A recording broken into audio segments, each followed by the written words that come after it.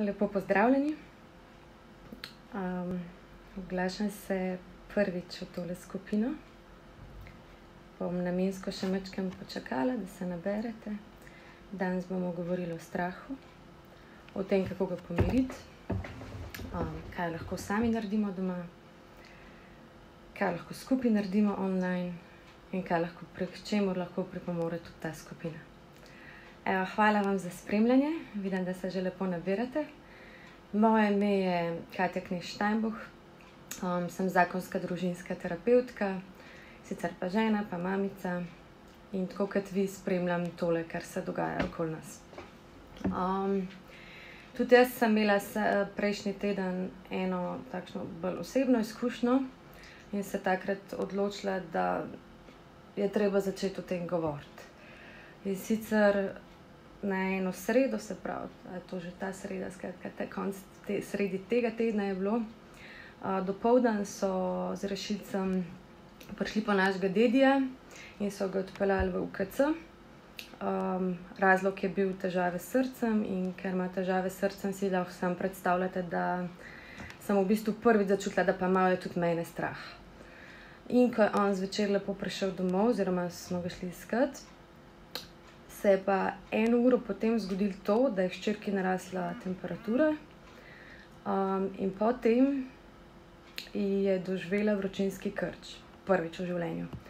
Tisti starši, ki ste kaj tasga že videli, veste, da je to en tak šok za vsega. In je bil tudi za me in za vse nas. Skratka, poklicali smo rešilca, um, deluje. Ja. Poklicali smo rešilca in uh, so, so nas odpeljali na infekcijsko, ker smo bili pred več kot mesecem dni v um, Italiji. In so upoštevali tudi to, kljub temu, da je pretečena bila ta dova že več kot 4 tedne, je bilo vseeno obravnavano tako. In tam so naredili bris in so ugotovili, da skratka nimamo korone. Ampak to, to so bili ti momenti, ki so bili skupaj v izolaciji, ki sem doživela, kako je, um, če se uh, čez noč uh, obrnejo stvari na glavo. Prvič z vročinskim šokom, drugič pa s tem, da si tik pred tem, da si soočen s tem, da je lahko kaj narobe. Ampak ta video ni namenjen temu, da bom govorila o sebi, bi se želela posvetiti vam. Ampak to je bilo to, da je en ta glavna odločitev, zakaj sem se odločila, da, um, da sem osebno začutila strah, da želim ljudem pomagati tudi um, preko spleta. In zato sem danes z vami. In sem hvaležna Matiji in Alešu, da ste me povabili zraven k sodelovanju, da lahko skupaj ugotovimo, kaj je na to temo.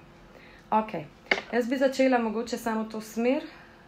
Aha, najprej moram komentirati to, da jaz nisem, jaz sem družinska terapeutka, kar pomeni, da nimam um, narejene medicinske fakultete, ampak družinsko terapijo um, to je vrsta psihoterapije, kar pomeni, da ne morem komentirati vsebine glede zdravstvenega stanja, lahko komentiramo samo um, čustveno področje, zakaj smo se tukaj znašli, um, kaj nam lahko pomaga in tako naprej. Tako da se bom v tem videu fokusirala na to in bom skušala odgovoriti na čim več tistih vaših vprašanj. Uh, lahko pišete sicer tudi sproti, spremljam. Um, bi pa res prosila, če se probate osredotočiti na čisto čustveno vprašanje.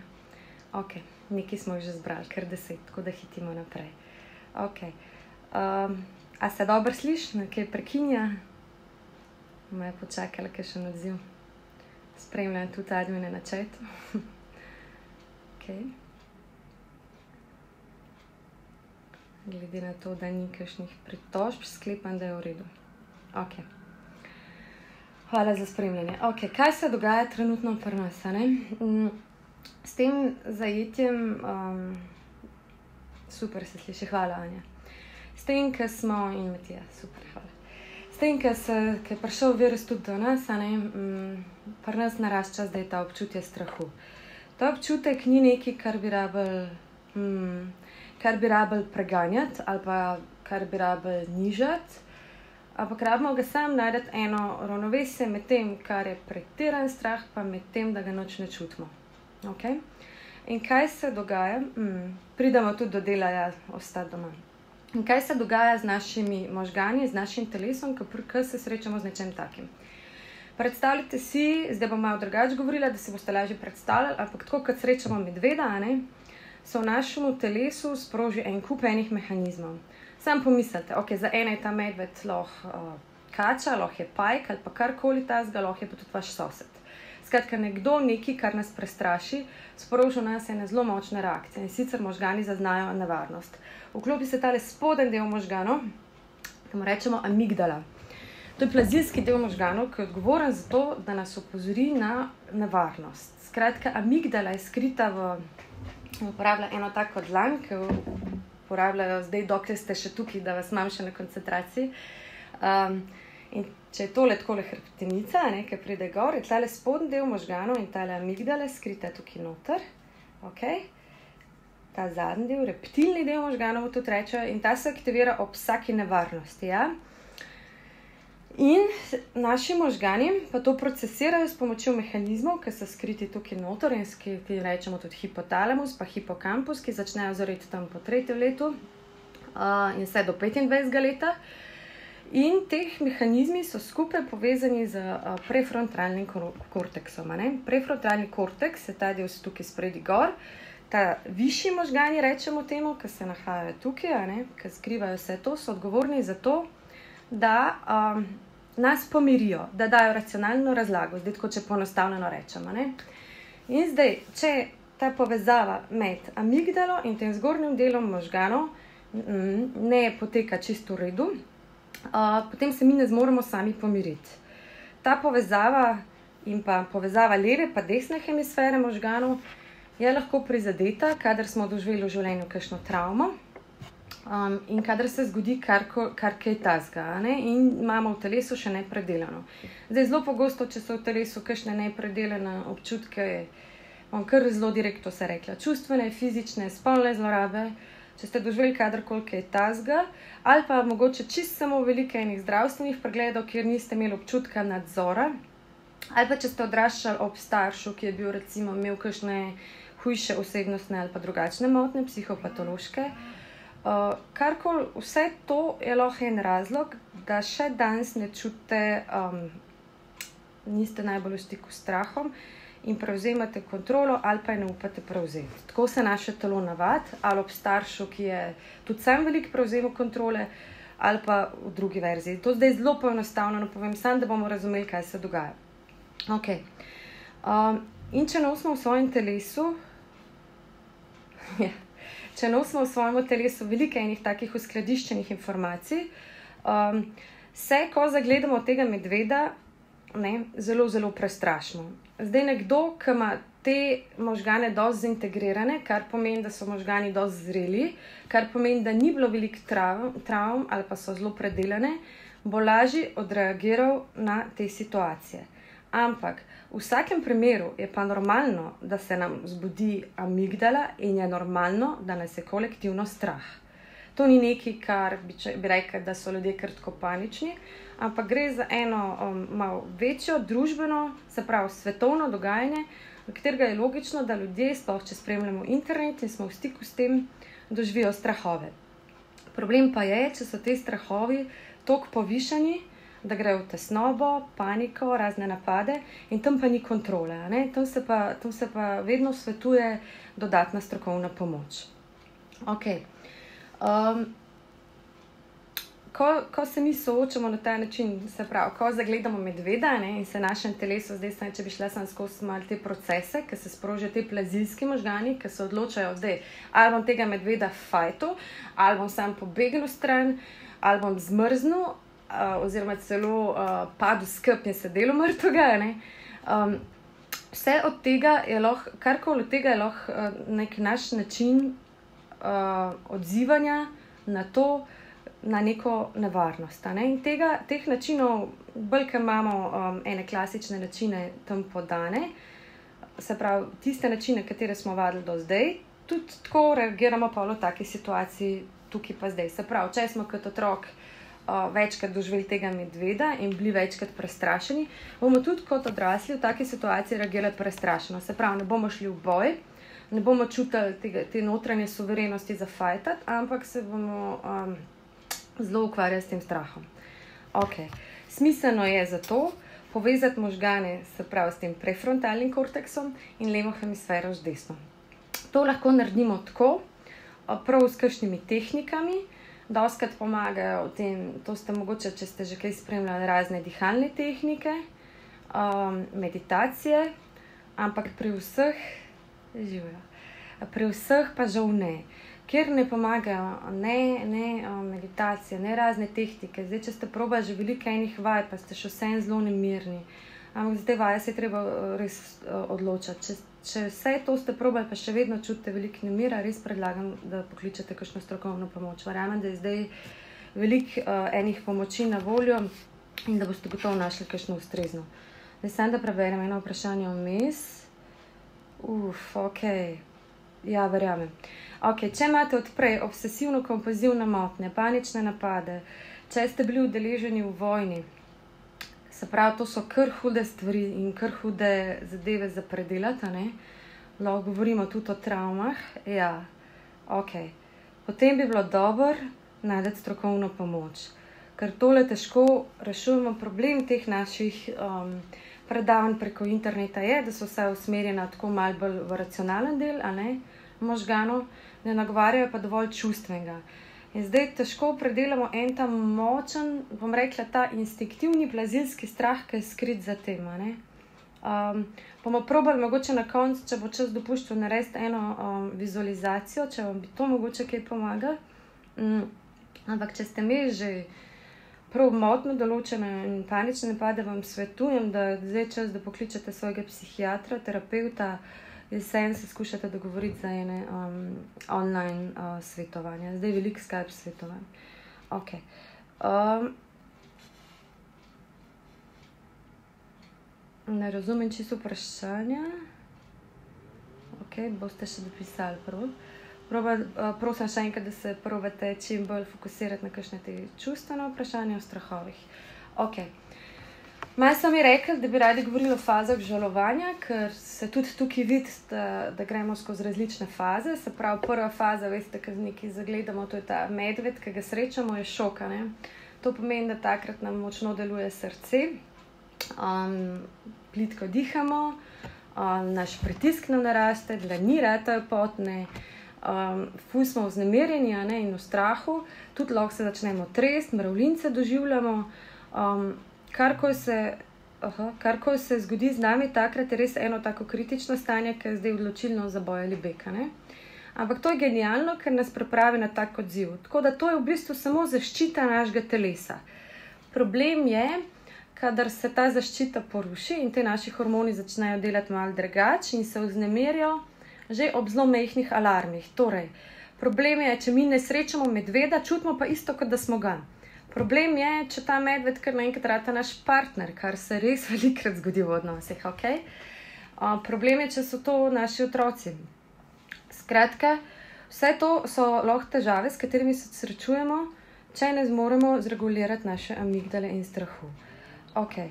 Um, če jemljete zdravila, vam svetujem, da jih, da jih jemljete še naprej in da vsem pokličete še enkrat psihiatra in terapeuta za dodatno pomoč, ker če so se vam zdaj napadi povečali, je res potrebna. Okay? Um, hvala. Okay. Um, gremo naprej. Faza želovanja. Smo omenili šok, ki srečamo medveda in kaj vse se zgodi v telesu. To je genialno. To v bistvu, da smo mi opremljeni za šok, je najboljši del našega telesa, ki nas je opremil res zato, da se, smo lahko varni. In se veste, včasih smo mogli preživeti zelo veliko enih stvari in zato imamo to mi ljudje še zdaj zelo močno vse pokorenjeno. Okay. Problem je, da zdaj, če je ta medved res naš prijatelj, pa sosed in mi nimamo tega pogleda vase, da je ta situacija mogoče malo pretirana. Mm. Uh mhm. -huh. Ja, gospod Mateja, hvala bom odgovorila tudi na ta del. Vas vidim, kronični bolniki imam skozi zapisan. Hodila sem čez vse te faze žalovanja, samo da razložim ta del, kaj se dogaja z nami. In da mogoče je dobro se ustaviti in videti, kje, kje mi na tej lestvici smo. A zdaj vidimo v tem virusu res enega zelo prekomernega medveda, ali sam naš normalen odziv, se pravi strah, ki je zelo na mestu in ki ne vem, kako ga kdo ne bi čutil ob vsem tem, kar se dogaja, glede na to, da tako kot omenjate, sploh če ste kroničen bolnik, je normalno, da čutite tam en strah in je normalno, da se bojite. Okay? Uh, Večja težava je, da, letite, da, gre, da ste velik na internetu in naletite na ljudi, ki, rečete, nehi, ki vam rečejo, nehite spet paničariti. Ja, kako ne boste paničali, če vas je strah? Okay? Oni hočejo sicer vam sem dober, ampak ne, ne znajo tega obesediti. Se bom vrla še k temu. Okay. Naše bistvo bi bilo, da po šoku, ne, da probamo se čim prej povezati z racionalnim delom, uh, kar, kar se zmoremo, če nimamo kakšnih te, težkih preteklih izkušenj ali pa že določenih motenj. Tako kot ste gospa prej, uh, gospa. Georgina omenila. Ne? V tistih primerih je pa to malo težje.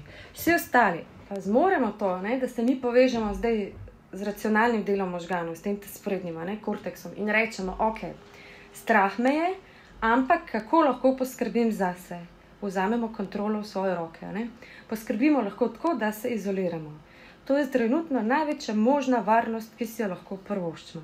Izolacija.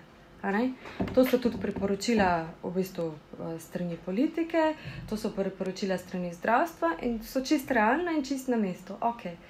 Če se izoliramo, bomo varni. Problem je spet, če nekomu izolacija predstavlja tistega medveda, kot sem že prej omenila. Okay. Potem moramo spet ugotavljati, zakaj meni ta izolacija, kot ste napisali v vprašanju, predstavlja tak strah. Kaj se zgodi takrat, če sem jaz sam s sabo, s svojimi občutki? Okay. Gremo naprej. Uh, Okay. Po fazah žalovanja, po fazi, fazi žalovanja šoka, ne, pride faza stiske. To je to, kar se sprašujemo, to je to, kar zdaj čutimo vsi mi. In, in se sprašujemo, okay, kako naprej, kako zdržati s tem strahom, in, tako, in, in podobna vprašanja. Na, se veste, najbolj pomaga to, da ne spremljate novic na tak način, da odločite se, katere so tiste, ki so um, za vas takšne, ki vam dajo večjo varnost, da spremljate pozitivne novice, da se, pozitiv, da se fokusirate na pozitivno, še prej pa je to, da si priznate, da ste prestrašeni in da je ta strah čisto reden in da ni s tem noč narobe. Okay? In da samo strahove predihate. Uh, zakaj vas ni strah, pri drugih pa vazi? To je zelo zanimivo vprašanje. Evo, bom se malo še ustavila tukaj, čeprav ful hitimo. Um, Ja, zakaj vas ni strah? Zdaj razlogov je več. Ne lahko, da ste se že uspeli pomiriti, ste rekli, ok, tole je zelo nevaren, ampak bom naredil vse, bom maksimalno se potrudil, ste skratka ste prevzeli kontrolo in ste vidite v tem, da zdaj, če ne boste šel ven med ljudi, da nima se kaj zgoditi, ne to vam daje popolno varnost in ste se s tem zadovoljili. Um, ampak, če vas pa je pretiran strah, pa malo jezija, ne, ok. Se pa zaprašati, zakaj vas poezijo ljudje, ki tega ne zmorejo. Ne? Mm, ali se, se je kdo okoli vas malo pretirano, že zdaj vas nočem tle javno izpostavljati, ampak vprašanje, ki bi se ga jaz postavil, recimo na tem mestu, je. Um, A, moje, a so se moji starši že kdaj fulje zil, pa mi niso dali prostora, da jaz čutim to, kar čutim, ali so pa oni imeli mogoče že malo tako en odrezan strah, pa niso bili čist dovoljeni tudi moji občutki ali pa tako naprej. Tako malo za raziskati to bazo, zakaj mene osebno tole zdaj tako boli. Ok, se vrnem nazaj, to zdaj tako na hitro intermico. Ja, to službo je krivica, se strinjam. Uh,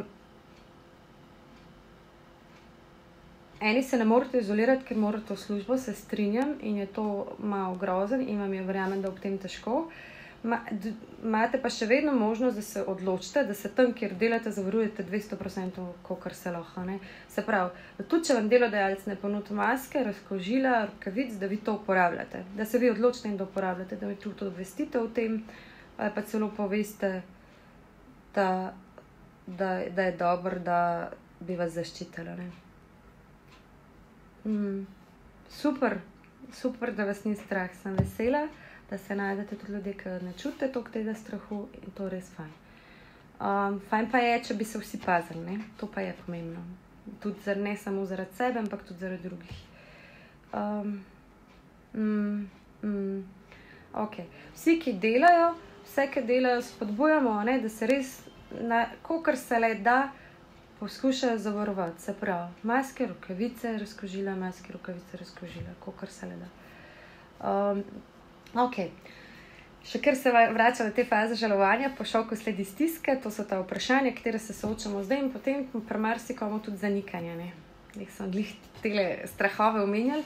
Se pravi, človeška psiha se včasih zelo hitro sooča s premembo situacije, včasih pa težko.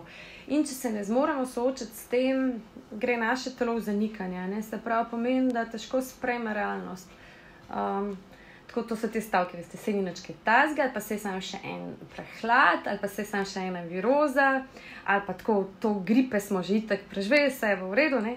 To so lahko eni taki zelo mm, dvorezni stavki, ki niso niti čistočni, ampak jih uporabljamo za čista obrambni mehanizem zanikanja. Um, to telo uporabi za to, da preživijo, ne? da razumemo. Tako kot eni uporabijo, uh, pri enih gre mehanizem v anksioznost, pri drugih gre pa mehanizem v totalno zanikanje in to, da ne zmorejo čutiti. Imamo različne načine odzivanja ne? in to je ta fight, flight or flint. Um, moment, reče v angliži, se pravi, to je ta medved, ki smo pripravljeni na boj, beg ali pa to, da pa kolapsiramo in pademo skupaj. Uh, to so te stresne situacije. Okay. Mm, po zanikanju, meni se zdi, tako, če kolektivno opazujete, se vse tako različno dogaja. Ne? Eni ljudje, ki so to se vest opazili čisto na socialnih omrežjih, ki so do nedavnega govorili še vse samo ena virozica ali kaj tasga so že zdaj prišli do tega, da reče, ok, očitno so stvari malo resnejše. Um, Dajmo videti, ni, nismo se zmogli soočati. Tako da eni si to že priznavajo. Jaz sem to že videla na Facebooku, da se že pojavljajo tudi take um, vprašanja, kaj se dogaja, in tako naprej. Ne? Do tega, da sprejmemo, je vedno ena pot, ker to je tudi zadnja faza, da sprejmemo situacijo takšno, kot je. Prej pa se telo pogosto krat um, pogaja sam s sabo. Okay. Mm. Zdaj, če me sprašujete o tem, kaj najbolj pomaga, malo bo še pogledala. Um, ja, kaj menite o tem, da ljudje nimajo toliko samoohranitve, da zavrnejo svojega delodajalca?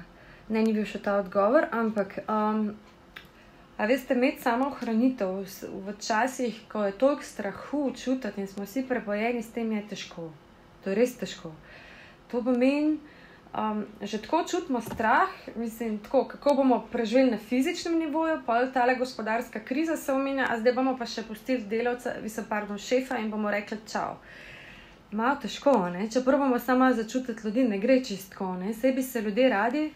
Um, mogoče tudi celo psihi lažje reči, da okay, grem delati brez maske, samo da ohranim službo, samo da bo to mimi in da ohranim delo. Delo marsikomu v bistvu pomeni preživetje.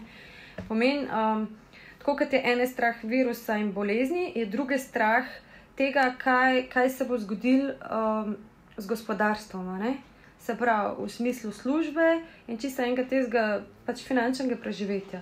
In zdaj pa tukaj težko postavljajo pogoje in da gremo še malo globje. A veste, koliko slovencev težko reče ne in postavlja razmete. Slovenci smo zelo, zelo ranjeni. Um, Tok smo preživeli enih travm, zlorab in vsega za sabo, da zelo težko postavljamo meje in nosimo vse veliko enega ponižanja, sramu, strahu. In vse veste, um, sam kar piše o hlapčevstvu in tako naprej, to so, to so res ene težke občutki in zdaj moramo kot narod še veliko kolektivno narediti, da se bomo znali čist zavarovati. Um, tako da ni, ni, niso enostavne stvari, sem to samo odlepet. Uh, se izoliraš, partner v paniki, se pazi. Uh -huh. Razumem. Ja, seveda tudi. Pardon, sem vas preklopila na polnilce, da ne bo kaj ušlo. Okay. Seveda, ja, razumem, da ste bolj v paniki tisti, ki, katerih partnerji delajo in tako naprej. Če vas zelo skrbi, se poskušajte še dodatno zavarovati. Poznam pare, ker so se odločili, da gre tisti, ki dela uh, živeti nekam drugam, če vas bo to spravilo dodatno mirnost. Um, ampak, če, če morda, če se vse, ne vem, na kakšnih delovnih mestih so, na, najhujše je seveda v zdravstvu in raznih trgovinah, tam, kjer so gomile ljudi in gomile tudi lahko virusov. Um, Tam je res težko, tam je mogoče to največja rešitev, ne? predhodna karantena, s to, da boste vsi mirni in ohranjeni stika na drugačne načine. Um, ok. Malo zdihamo, hvala. Kako ste kaj vi z dihanjem? Zdaj tako veliko vas je napisali, da vas je strah. Jaz moram zdaj vmes kar malo zadihati, to, ker sem tako hitela, pa včasih doskrat pozabim na dihanje, tudi če sred vsakodnevnika, sploh preden je bila zdaj tale. Uh, hvala, srečno tudi vsem vam, želim res zdravje vsem. Prednje je bilo že tole, ne, je, je, je kar težko v tem 21. stoletju, norem hitenju, sploh zadihati in se ustaviti. Mm, ok, pišete mi na osebno, kar je lepo. Uh, ampak sem da odgovorim.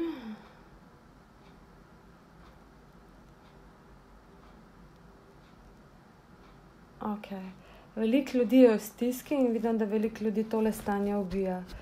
Uh, um, sem spremljal vprašanja. Če se vrnem um, resno z bolezni, kako naj človek dopove, da ne skrbijo sem zase. Okay, veste, kaj v takih primerih, ki vas zelo skrbi, kaj delajo drugi, pomaga. Fokus na sebe.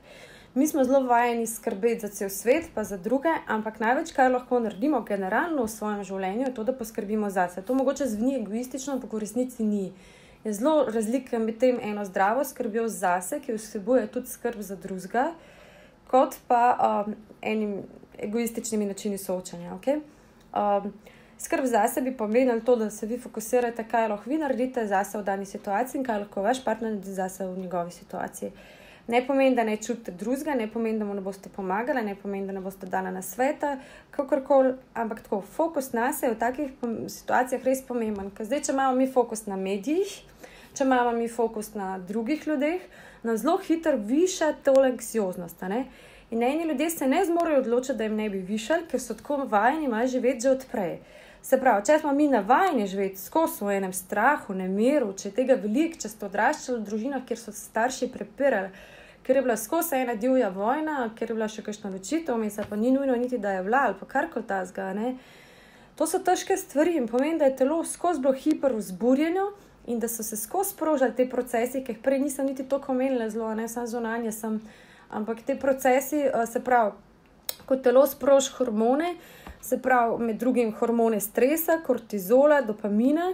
In nekako znanstveniki zdaj govorijo o to smer, niso zdaj še tako določeni, ampak tako, da obstaja tudi dopaminska odvisnost, ne? se pravi od tega, da se skozi nam nekaj dogaja. Ne? Če imamo mi to vse, če smo odraščali v družini, kjer je bilo veliko enega stresa, ja, bomo v teh situacijah spet iskali ta stres, ker se je telo navadilo, da se tako samo pomirja ni to nič groznega, kar se ne bi dal na dolgi rok uravnavati, ampak rabimo malo več časa okay?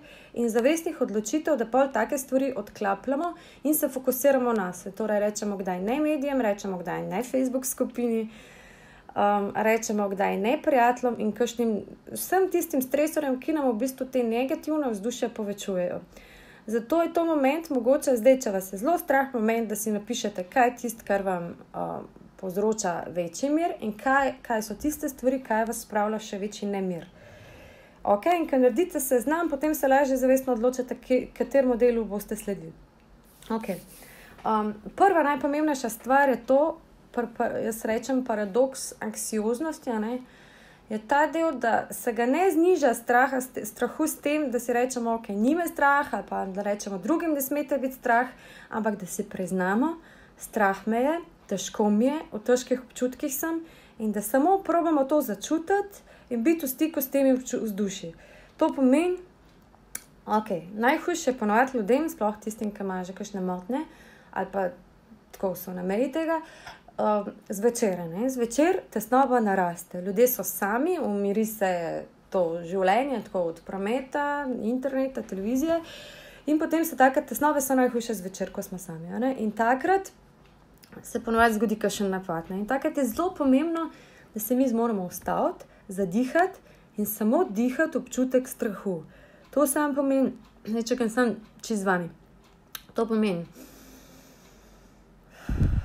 To pomeni, ne pomeni nič več, sem, da z vzdihom vdihnete mir in z vzdihom izdihnete strah. Sam da dobite občutek, da gre samo za eno vzdušje, okay? samo en občutek je in še kar lahko dihate. Tudi zdaj lahko probate, če čutite strah med tem, kar smo govorili o tem, ne, kar je bilo čisto logično. Samo predihate občutek, ker gre samo za občutke. Okay? Samo občutki so, se pravi, ena hemisfera nas malo meče ven, pa amigdala nam manj nagaja, okay? ker ne zmore toliko povezanosti s prefrontalnim korteksom. To je to, kar smo na začetku govorili ni povezanosti. Ampak, če pa naredimo to povezanost in se odločimo in dihamo in samo vidimo, da samo zdržimo z občutkom, samo strah je in to je samo občutek, ki ne pomeni katastrofe, samo občutek je. Mojim klientom večkrat zelo pomaga, da slišijo ta stavek, samo občutek je. Navarni ste, izolirate se, vse bo v redu, ok? Samo občutek je.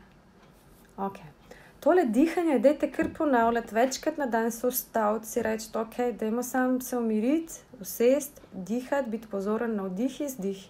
Samo dihati, samo občutek je, ponavljate si to. To je tako zdaj, ko grozno slišati neka mantra, ampak res je močna in res deluje. Ker rabimo te racionalne, pozitivne informacije, da jim lahko začnemo verjeti. Poleg tega, da moramo ugotoviti, kje so te strahovi tako močni, kje se napajajo, kaj so globinski razlogi, um, je fajn, da imamo pa tudi čiste pozitivni fokus. Okay. Um, včeraj sem dala en, en video, zdaj delam uh, brezplačne videe, zato ker sem imela to osebno izkušnjo, ki me je tako nagovorila. In kot drugo stvar, poleg tega paradoksa anksioznosti, sem navedla um, toleranco do sprememb. Veste, mi, mi se generalno zelo bojimo, sistemsko ne, se bojimo sprememb. Vsaka sprememba v bistvu prenese strah in to je normalno. Ne. Ampak terapeuti oziroma strokovnjaki zelo priporočajo, da, oziroma da so celo raziskave dokazali, bom napisala članek, pa probala referirati, um, da se da tole rezistenco do sprememb pa malo natrenirati. Se pravi, da lahko zavestno odločitvijo se pravi, spet, ko uporabljamo prefrontalni korteks, ne, racionalni del možganov, um, ker strah odnaša predvsem ta senzibilce, ne, se pravi, vas, zelo čutite, ste empatični, ste čustveni, veliko uporabljate najbrž tudi to hemisfero. Ne. Se pravi, moramo povezati z levim delom, čust, se pravi, racionalnim delom. Ne. In ko povežemo stvari z racionalnim delom in prefrontalnim korteksom, se pravi, začnemo vaditi, se pravi. Um, občutek za to, da so spremembe lahko ok. In da lahko naša vzdušja malo počakajo. Recimo, če imamo impuls, da bi zdaj lepo odprli ne, stran NJZ, kaj se dogaja. Joj, ne se zahvaljujem. Če bi zdaj odprli stran, kaj se dogaja, bi lahko videli, bi nas lahko spet spravil strah. Ampak se mi zavestno odločimo, da bomo pa zdaj, ok, bomo pregledali, kaj se aktualno dogaja, ampak bomo odložili nas večer ali pa bomo še raje odložili na jutro. Skratka, da si določite, da ni treba vsak impuls takoj, ne, na vsak čustven impuls, se pravi na vsak čustven strah odgovoriti takoj. To lahko malo treniramo. Uh, ena še bolj zanimiv predlog se mi je zdel to, da da, da gremo ven, čeprav zdaj imamo lepe dneve, ne pa nešteje, ampak če bi imeli pa tako deževno, ne, oblačno, da upamo iti ven brez dežnika. Ne. S tem treniramo naš občutek kontrole, da prepuščamo naše vzdušje temu, da bo vse v redu in da verjamemo in da gremo ven. To, s tem višamo, treniramo um, občutek za to, da ne rabimo imeti nenehne kontrole. Okay. To je ta drugi primer, zdaj pa sem še tretjega na hitro, sej uh, bom spisala še članek, ker bom dala še več primerov in še več vaj, bojo konkretno opisane, bom tudi delila v skupino.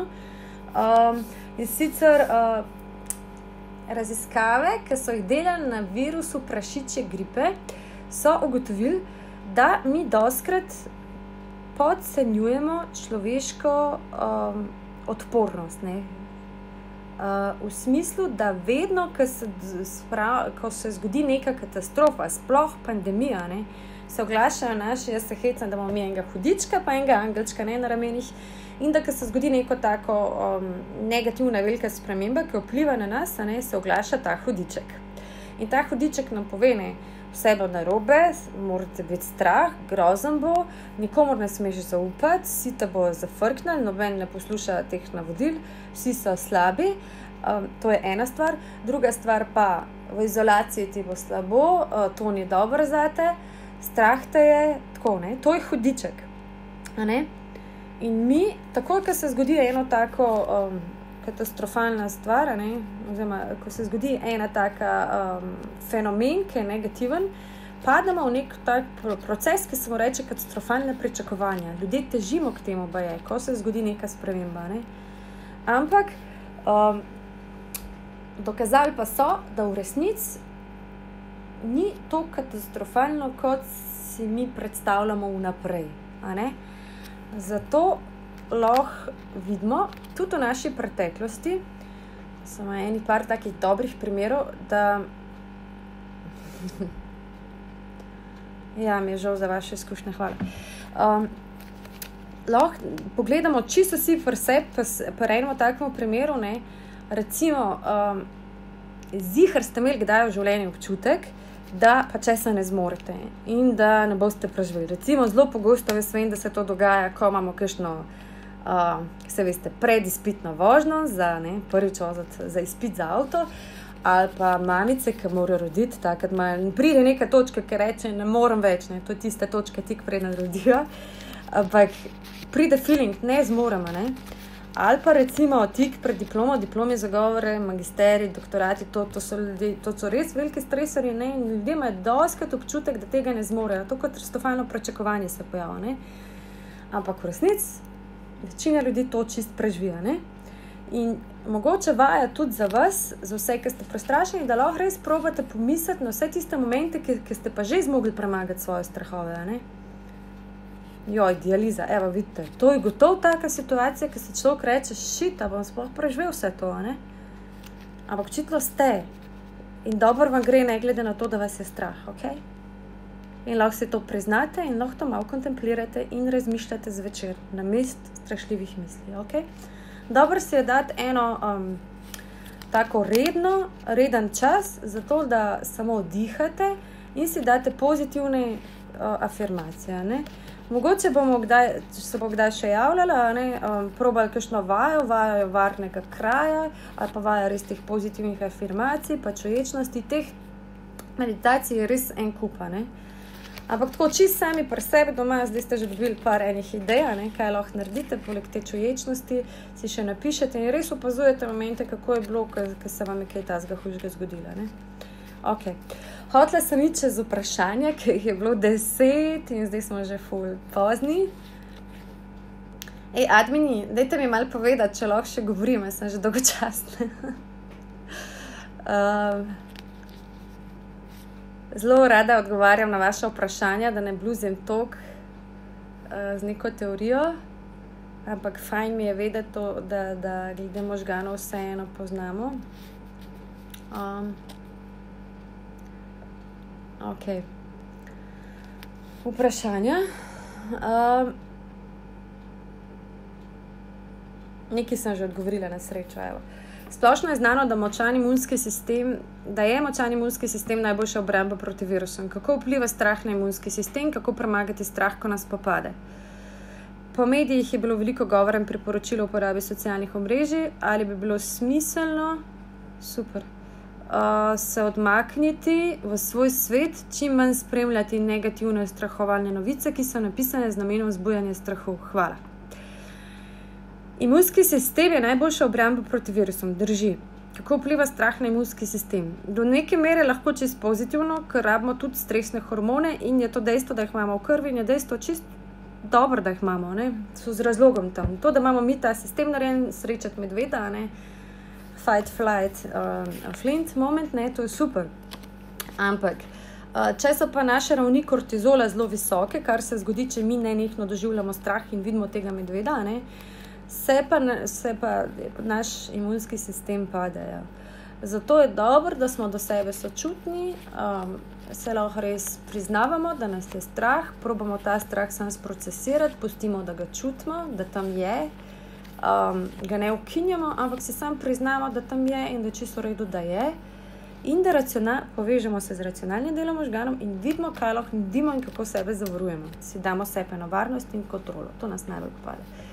Torej, tako premagujemo strahove. Mm. Socialna omrežja. Ja, fajn je, da ugotovite, kje so tiste novice, ki, vas, ki vam povzročajo mir, in kje so tiste novice. Hvala, admini. Kje so tiste novice, ki vam povzročajo več nemira. Ne? To je dobro malo razlikovati. Sami, sami naredite malo seznam, po čem ste se čutili boljš, pa po čem slabše, mogoče da ste bolj osredotočeni na to. Pa veliko enega face newsa. Tako da jaz vem, da se vas veliko pomere na način spremljanja, sploh če je bilo veliko enega. Um, Se veste, vzdušje doma tega, da je bilo bolj divje, in da se je dopamin že doma veliko sprožil, pa kortizol, je to pa kar tudi ob taki situaciji ena navada, da, da se te novice spremljajo še bolj ne? in na način samo pomerjena, ki ni nujno slab. Važen je samo to, ali vas to spravlja še v hujšo stisko ali vas pomiri. Tako da, glede tega se odločite čist potem po vašem občutku za vaše telo in vedno poslušajte svoje telo. Uh, ja, fajn je se omakniti v svoj svet sicer. Uh, Fajn je pa biti realen, ne? v tem smislu, da nismo brezbrižni, ignorantski, da se delamo, da ni problema, ker problem je. Um, in se to, če se s tem soočate. Seveda je idealno, da bi šli na neki vikend, uh, tam vrtička, ni nobenih ljudi in tako naprej, ste imeli fajn, ne? to bi bilo super. Um, kako se umiriti, ko bo pri nas izbruhnilo, bojim se zaprtih prostorov. Yes. Če imate resne, resne težave in se ne morete doma pomiriti na nikakršen način, če ste že iskali meditacije in razno vrstne pomoči in vam noč ne pomaga, predlagam, da pokličete strokovno pomoč. Ali psihiatra ali psihoterapeuta, ki je um, izkušen na tem področju. Okay? Um, sicer pa tako na prvo žogo zaprti prostori, če se bojimo, kaj je tisti najhujši strah je za premisliti, mogoče malo se vse pogledati, kaj je to. Je to ena fobija, prva, ki imate že dlje časa, pa ste niste nikoli soočili z njo. Ali gre mogoče za pač, uh, čist, aha, ali ste celo imeli kakšno izkušnjo, kjer bi. Um, Ki vas je zelo zaznamovala, ste bili kje zaprti in še niste predelali, ne, ali pa kaj pod, podobnega. Skratka, se je zausest dol in videti, kaj je tisti razlog, ki to povzroča. To nam bom težko tukaj odgovorila. Mi pa lahko pišete na sporočilo, ali pa mogoče, če boste tukaj skomentirali, če vam ni preveč neprijetno, um, lahko vedno dopišete. Um, okay. Mene je zelo strah te bolezni in pomislim, kako bo z mojo ščirko, kako moji vnuki bojo preživeli. Okay, to je zdaj zelo grozno, ampak um, pravijo, da.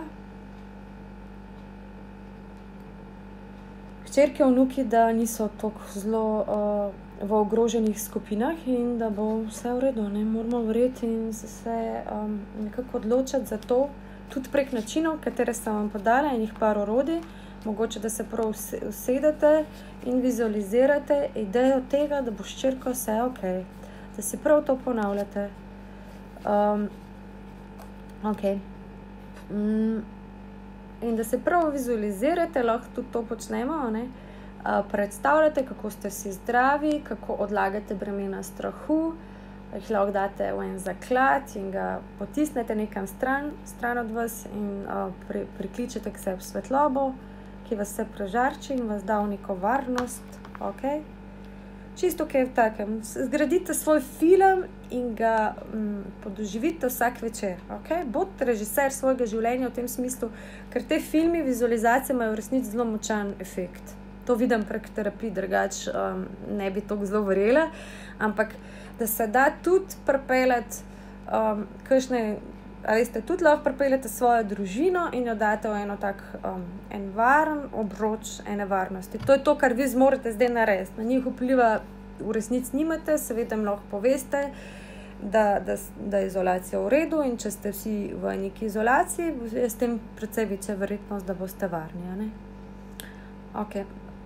Ja, vse, kar je strah pred neplačili položnic, najemnini in ne take stvari, uh, jaz vam zelo polagam na srce, da kar čim bolj športniki uspešno uporabljajo vizualizacije. Seveda, ja, veliko ljudi uspešno uporablja vizualizacije. Okay. Glede, ja, glede neplačil položnic in najemnin in take stvari, to so resne zadeve, s katerimi se sooča zdaj veliko slovencev, tudi SP-ovci in tako naprej. Uporabite vse možne kanale, vse možne pritožbe, vse možne prošnje, postavite se zase. Jaz vem, da slovenci nismo vajeni postaviti meja, da nismo vajeni prositi za pomoč, ampak to zdaj je čas, da to naredite. Zdaj je vaš čas, da se uh, opogumite, naredite stvari, ki jih prej niste upali. In proste najemodajalca, da ste pač poveste, da je sranje in da ste zdaj le proste za odloge ali pa delna plačila in tako naprej. Jaz verjamem, da bo večina ljudi, ki ni res zdaj tako, bila, tako da bi bila odvisna od tega preživeti, no, no, no, ne, da vas bo razumela. Um, vsekakor, a veste, prositi ni nič kaj tazga. Dajte si to šanso, da vsaj proste ljudi, da ne vem, zakaj se ne bi tle zdaj. Uh, mm, res poskrbeti zase, tudi to je skrb zase, da prosto ljudi, da vas tukaj slišijo. Okay. Po izgorelosti imam nekaj avtoimunih bolezni, torej slab imunski sistem, tudi anksioznost na visokem nivoju. V tem trenutku sem na tleh, ker kot kaže, ga imam. Začelo se z glavobolom, zdaj se stopnjuje kašelj. Ok, nalgesin opozorila naj ne jem inflamatorikov prepozno, čisto pravočasno, da me totalno vrže, če le štale s psiho. Ja, na psihiramo se lahko tako zelo, da res dobimo neke simptome, ki izgledajo kot simptomi virusa. Ne? Zdaj, če se vam zgodi, da ne morete dihati, da čutite tlete snobo, se pravi, kako je bila dihala, da, pol, da vas še trez začne in mravljinci po telesu, to so vse zna, rahli znaki paničnega napada. Ne?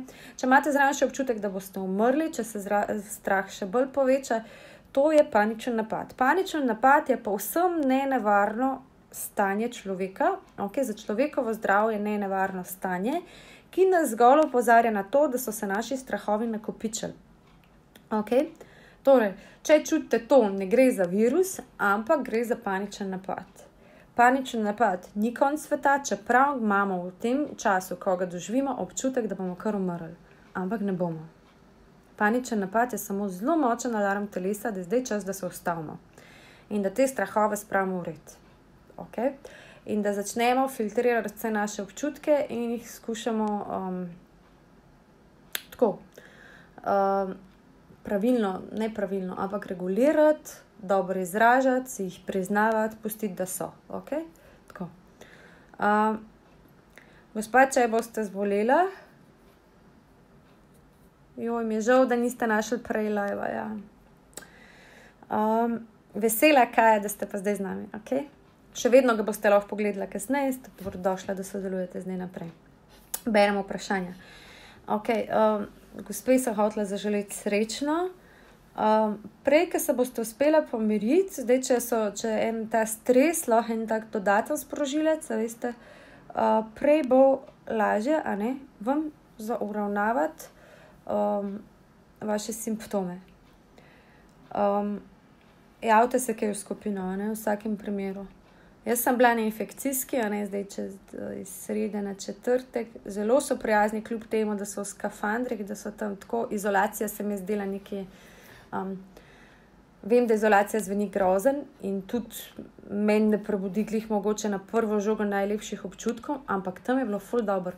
In ful dobro so mi za jesti in sestre so bile zelo prijazne, nočem pro, pro, promovirati tega, hočem samo povedati, da morda ni to grozen, kot si morda to predstavljamo, samo ta del. Um, ok. Jaz imam vprašanje, zakaj smo pod vplivom tesnobe, zaradi narave ali zaradi zavesti, če bi to znala odgovoriti. Ja. Mm, tesnova se gotovo poveča, zato ker se tudi kolektivno čutijo stvari, zato ker je to pandemija, ker je to svetovni dogodek, ker vsi mediji govorijo o tem, mm, ker gre za eno stvar, ki ogroža naše življenje, ne? ker gre za eksistencialno vprašanje. Mi, kot vemo, imamo potrebe, vsi imamo osnovne življenjske potrebe, ne fizične. In najosnovnejše je ta boj za preživetje. Ne? In kako naj ne bi bili mi pa v strahu? Ne? Logično je, da smo v strahu. Seveda pa je tudi logično to, da zdaj, če spremljamo veliko medijev, um, da nas vse te zunanje stvari lahko spravljajo še večji strah. Mm. Zato so bistvene čuječnosti, pa razne drugačne vaje, meditacije, vizualizacije, da se probamo. Um, povezati s prefrontalnim korteksom, z racionalnim delom možganov in se pomirjati. Um, tesnoba, oziroma pač strah, je trenutno zelo na mestu začutiti, zato ga čutimo, ker gre za resne stvari. Um, če ga pa čutimo preveč, ne, je pa smiselno, da začnemo reševati ta preveč in ga regulirati.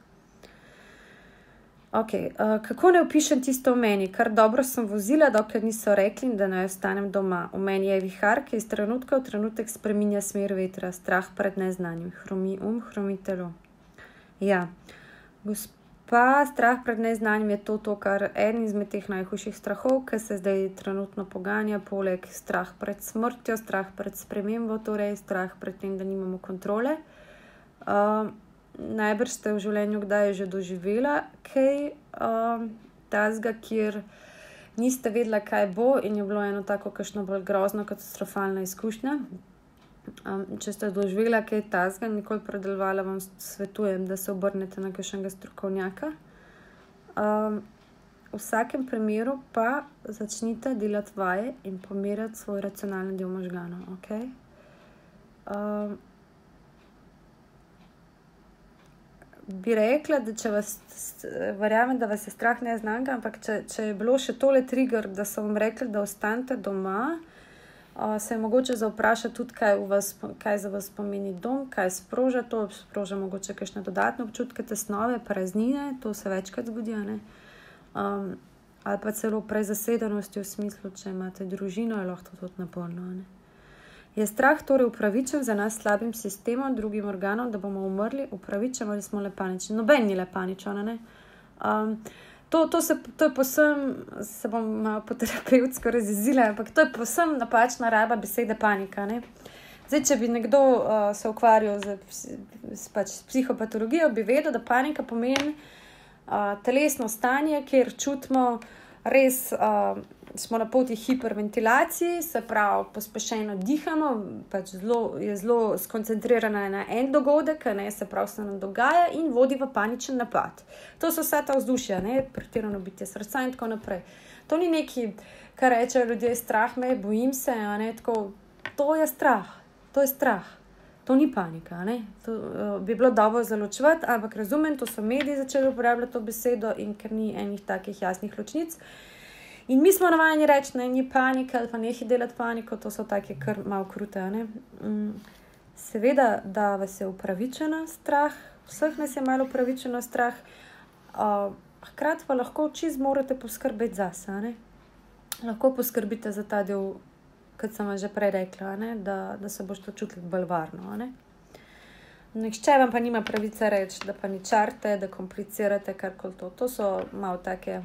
Um, grde, neempatične izjave, ki se pojavljajo pred, na netu ali pa v raznih komentarjih, uh, ali pa ko ljudje ne zmorejo koga začutiti. Ali pa, a veste, primer gospoda, ki je prej rekel, da ne zmore začutiti drugih. On je zelo lepo priznal tega, ne? da mu gre na živce, če nekdo uh, preveč čuti strah ali pa da ga zelo močno doživlja. Um, tam se zaprašate, veste, mi smo vsi ljudje z enimi ranami in se srečate nekdo, ki um, ni smel čutiti strahu, pa nekdo, ki ga je bil forsiran čutiti skozi fulane. In tukaj se pa težko slišimo in se kdaj tudi prizadanemo, čist ne hote in rečemo kakšne take stavke. Vi samo poslušajte sebe, svoje telo, pomirite se s povezavo z racionalnim delom možganov in vse bo v redu. Uh, grlo boli. Mm, v petek, kihanje, kihanje ne bi bil en um, klasičnih um, sprožilcev prehlada, vi sem prehlada, še jaz sem padla v to. Skratka, sprožilcev virusa. Um, vam useka na pljuča, korone ne morete dobiti. Ja, ok, če vas boli grlo. Zdaj le še vedno razsaja en kup virusa, ne da na tem misli. Uh, moja hčerka torej pač ni bila pol pozitivna na korono, ima pa rino viruse. Ne? Skratka, v vsakem primeru moramo biti bolj v izolaciji. Um, uh, še vedno je okoli hodi veliko enih virusov in to, da vas boli grlo. Verjamem, da je lahko en močan trigger za to, kar, kar se dogaja v vašem telesu, uh, ali pa da vam veča napetost. Uh, in je fajn, da zmorete tudi vi se povezati um, z racionalnim delom možgana in pogledati, ok, gre samo za bolečino v grlu, predihati, samo grlo boli, ni še nobenega hujšega znaka. In tudi če bo prišel, zdaj imamo že veliko Um, ne vem, če ste videli uh, že izpovedi ljudi, ki so to doživeli, skratka, so se izolirali in preživljajo te situacije. Ne? Skratka, ni samo, um, imamo zdaj tudi izkušnjo tega, kako je. In je mogoče malo lažje za vse, ki spremljamo od zunaj, ki vidimo, kaj vse lahko sledi. Ok, hvala. Um, upam, da se razprava dotakne vpliva lažnih novic, ki jih je v tej skupini milijon, tako kot v vseh teh skupinah, na psiho ljudi oziroma njihovo duševno zdravje v teh izrednih razmerah.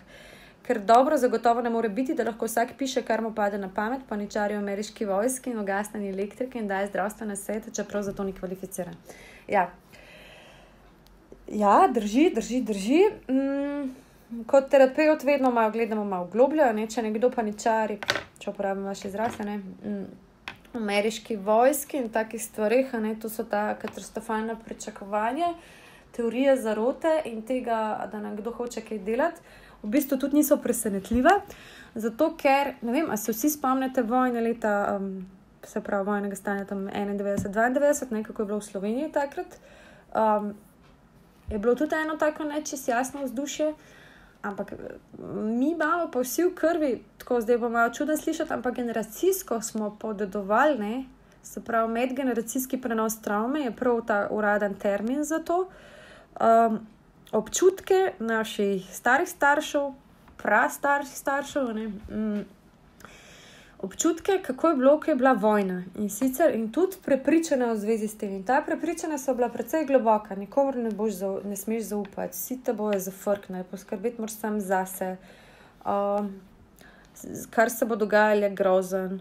Veliko je še enih teh prepričanj, ki sem jih zdaj malo šla in bom mogoče tudi kam zapisala, ampak tako, slovenci jih kar nosimo pogosto sabo in ni presenetljivo, da pa mi, ki itak imamo to v krvi, da nismo še razrešili teh situacij vojnih stanov. Um, pa veste, ta izdajstva, pa slovenci, ki še danes nismo enotni glede tega, kaj se v naši zgodovini dogaja, to so globlje stvari, ne še danes se kregamo okoli politike pomeni. Ja, mi nosimo veliko enih težkih stvari v sebi in imamo veliko enih, um, ni čuden, da, da pol verjamemo raznim teorijam zarote. Okay? Tudi to je način regulacije anksioznosti, regulacije tesnobe. Tako oni pomirjajo sebe. Um, vpliv lažnih novic, ja, seveda ni fajn, zato je dobro izbirati um, tiste novice, ki vam omogočajo večji mir. Naprej, mene je psihično tu zdelalo, ne morem se pomiriti, sem anksiozna, že tako imam fobijo na bolezni, nova zdravila, na neznano, neznano po, po, počutje. Imam štiri otroke, se počutim v filmu, kjer zlobci poskušajo prevzeti svet. Ok, povezati se z racionalnim delom vaših možganov, zdaj ste v čustvenem delu, ok, rabimo iti gor. Se pravi, če, če smo zdaj tle ostali v tem plezijskem delu možganov, ne moramo najti ta zgoraj del, uh, front, prefrontalni korteks, da vas pomiri. Okay svetu, sveta ne obvladujejo zlobci, oziroma jaz sem kar nesramna, kdaj pa rečem, da se veste, mi imamo Putina, pa Trumpa, vsem na očeh, oni ne bojo delali skritih stvari, ne? oni neumnosti počnejo čisto odprto in mi to gledamo in tako je. Um, tako da v resnici. Smo se srečali še z eno pandemijo, preživel jih je svet, nič koliko že, ne, se veste, kuge in vse te stvari. Um, Zato se moramo res povezati skozi racionalni. Najdite vaše racionalne prepričanja. Torej, naredite svoj film, verjamem, da ste v filmu, naredite svoj film. Vaš film bi lahko bil ok, da začnete dihati, ok, fobije na bolezni, nova zdravila. Okay, to, jaz bi skoraj rekla, da vam tle priporočam eno strokovno pomoč. Ne? Če je veliko enih takih fobij, bomo zelo težko rešili s parimi čuječnosti. Zakaj se je nabral toliko enega strahu, kam to paše? Um, nova zdravila ok, zdravila niso tukaj noč še zdaj, na neznano, ja, razumem, ni kontrole. Za premeditirati malo ste imeli kakšno tako vzdušje, kjer je bilo veliko enih neznank. Mm. Prva faza, priznati si, da vas je strah, dovoliti si, da ga čutite. Mm. Dovoliti si, da čutite ta strah in ga sam predihati, ok, dihanje, dihanje, samo občutek je strahu.